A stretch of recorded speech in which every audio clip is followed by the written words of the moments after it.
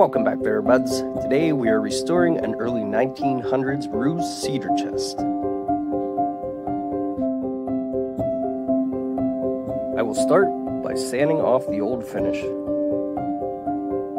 Then do some regluing and repairing. Back to sanding. Steaming out some dents and dings in that top.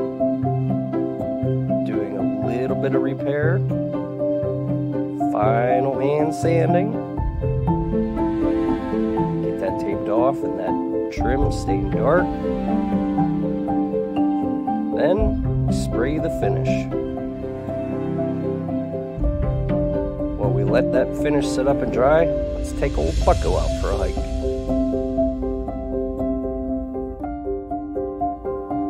Well, buds, there we are with another one done. It's all dry, back together, ready to go home. Thanks for watching.